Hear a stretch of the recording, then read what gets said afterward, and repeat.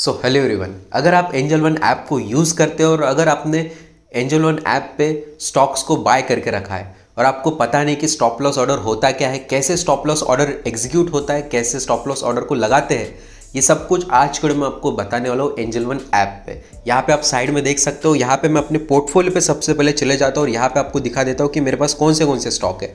यहाँ पे आप देखोगे तो जो भी स्टॉक्स मेरे पास अभी प्रेजेंट है, अगर मुझे उस स्टॉक्स में स्टॉप लॉस लगाना है ठीक है? स्टॉप लॉस लगाना है तो यहाँ पे मैं किसी भी स्टॉक्स में कैसे स्टॉप लॉस लगा सकता हूँ, यह आज मैं आपको बताने वाला हूँ। सबसे पहले समझ लेते कि स्टॉप लॉस होता क्या है। स्टॉप लॉस एग्ज़ाम्पल के तौर पे अगर आपने कोई स्टॉक हंड्रेड रुपीज़ पे बाय किया, आपका टारगेट है एक सौ का आपका टारगेट है, आपने हंड्रेड रुपीज़ पे बाय किया।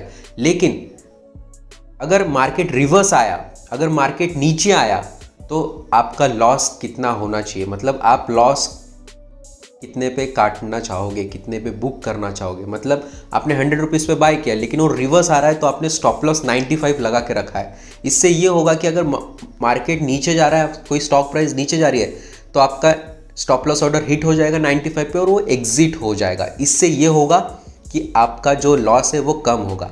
हम स्टॉप लॉस ऑर्डर दूसरे तरीके से भी यूज़ करते हैं, जैसे कि आपने हंड्रेड रुपीज़ पे किसी स्टॉक को बाय किया, अब वो स्टॉक चले गया एक सौ बीस रुपये ठीक है, एक सौ चला गया। अब मैं स्टॉप लॉस कहाँ लगाऊँगा? मैं ट्रेलिंग स्टॉप लॉस यूज़ करूँगा। ठीक है, इसका पार्ट टू में बनाऊँगा ट्रेलिंग स्टॉप लॉस का। लेकिन ये है पहला stop loss order simple stop loss order के बारे में आज मैं आपको बता रहे हूँ। इसके बाद के वीडियो में आपको बताऊँगा ट्रेलिंग स्टॉप लॉस ऑर्डर के बारे में। तो सिंपली अभी आप देखो कि मेरे पास जो भेल का जो स्टॉक है, ये मैंने वन थर्टी रुपीज़ पर लिया था और अभी इसका प्राइस चलो है वन एटी टू रुपीज़ आप साइड में सब कुछ देख सकते हो। अब मैं इसको क्लिक करता हूँ। और यहाँ पे मैं इस पर सेल पे मैं क्लिक करता हूँ, ठीक है? अब जैसे मार्केट अभी चल रहा है one eighty a one eighty rupees की, इसकी प्राइस है इस स्टॉक्स की, ठीक है? अब मैं इस पर स्टॉप लॉस ऑर्डर लगाता हूँ, जैसे कि अब मैं यहाँ पे स्टॉप लॉस ऑर्डर लगाता हूँ, ठीक है?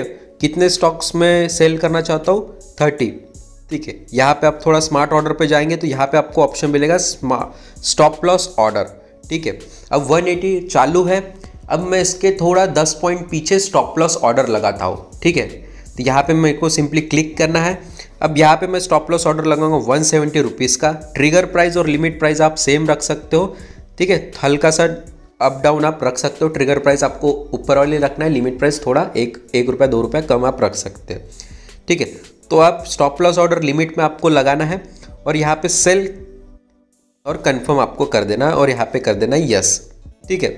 तो यहाँ पे आप देखोगे तो जो मेरा स्टॉप लॉस ऑर्डर है वो यहाँ पे एग्जीक्यूट अब नहीं हुआ है क्योंकि ये पेंडिंग में है। मार्केट अभी क्या चल रहा है? 180 अभी मार्केट हमारा इस स्टॉक्स का प्राइस चल रहा है। मैंने जो स्टॉप लॉस लगा के रखा है 170 लगा के रखा है। अगर मार्केट प्राइस नीचे रिवर्स भी आता है तो मेरा 170 पे एग्जिट हो जाएगा और मेरा प्रॉफिट में ही होगा। ठीक है? क्योंकि मेरा ये स्टॉक अभी प्रॉफिट में ही है। मैं इसको कैंसिल इस ऑर्डर को कैंसिल करा है तो आप कैंसिल भी यहाँ से कर सकते हैं। ठीक है? मैंने कैंसिल कर दिया।